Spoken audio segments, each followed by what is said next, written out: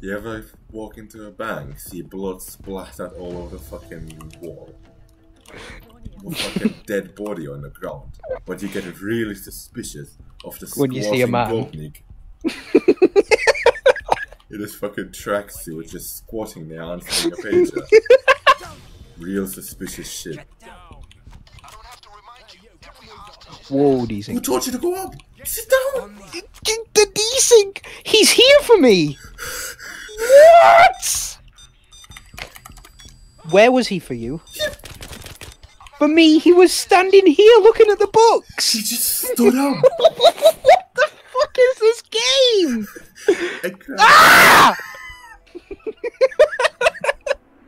and grabbed the key card and he just stood up and walked away.